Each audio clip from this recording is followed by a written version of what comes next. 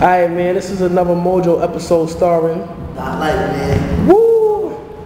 Yeah, man, so like, you made it a lot through this life you were. How long you been dancing for? Ah, Man, yeah, some change, close to two. And what was your first team?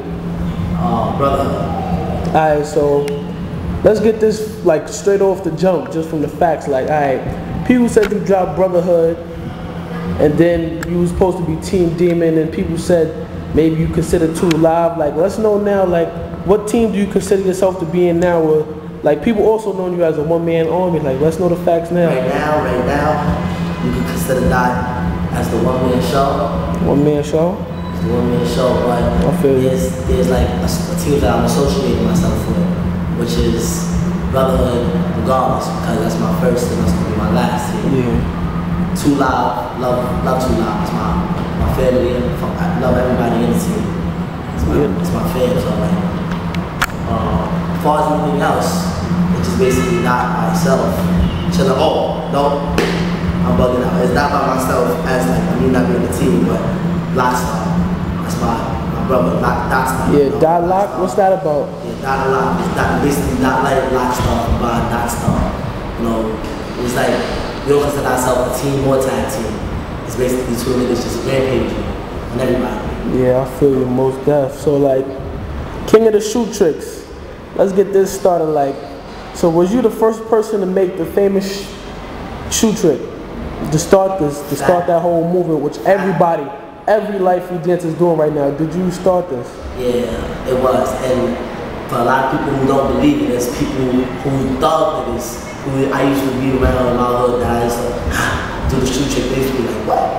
Like niggas I can vouch for like that. Three years ago, I used to play around. I used to be a ball player. I used to play ball. And I used to see little dancing. Like I used to see Swiss, you know, people. But they never took. They took their shoe off and play a manner. Like they would, you know, use it as a telephone or use it on the floor like a pillow. So one day I, I had a move. Shout out to Duck.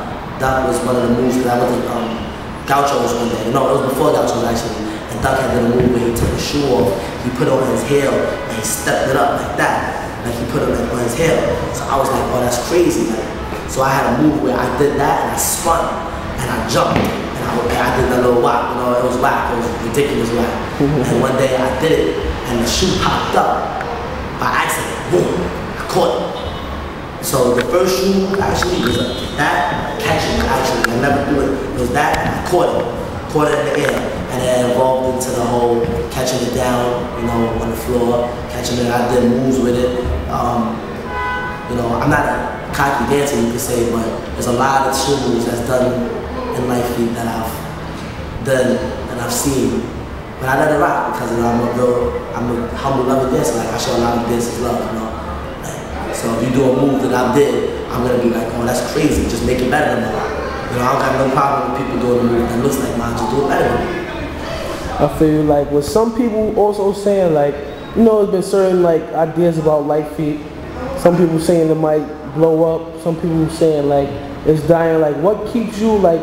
Do you think lite feet is dying? And if so, like, what keeps you like? What keeps you still like doing this? It's it's the drive. I I can't even tell you what it is. It's just love. It's just the love for it. Like developed love for it, and I try to. There be days where I be like, yo, fuck this dance. Like see my legs, but it be there be days where I just be like, you know, forget this dancing. Like I, I'm I'm going away from it. Like it's too stressful. Like I, there's a lot of stuff that in my in regular regular my you know me but forget that like that messes that dancing messes up the regular life so it's like oh man you know I'm messing me up a lot but then I don't know what it is it's just something that keeps pulling me back I would just be like oh man uh, and then it would just like a couple days later just be like I can't do it no more I gotta dance it's like a pain reliever you know it's like, I love it I can't stop Yeah, most def. Alright, so like, I mean, like everybody known you since, like you was known before the YouTube, like I'm supposing, like, but like you came a long way from just dancing fast for a short amount of time. Like, who you think helped you get to where you was at, or you think it was all your self hard Nah, it, was work? it was actually a handful of people. Um, Cole, most definitely. Because if it wasn't for Cole, I wouldn't have been getting views views like I do.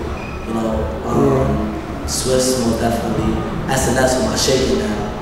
SMS, Space, Cousin Space, Blood Cousin, Space, um, and Lockstar, Teeth, Teeth, my brother, Teeth, Randy, and Ray died. There was a couple, there's the whole brotherhood basically involved me. Like, Mean, I was I was always like a loner. Like I was always the type of person where I would go to a session and you would see a move and you'd be like, what? And I, I wouldn't practice it against nobody. I do it myself. But it was always the people that I named that would see the move and evolve the move. Like, yo, you should uh uh uh uh to that move.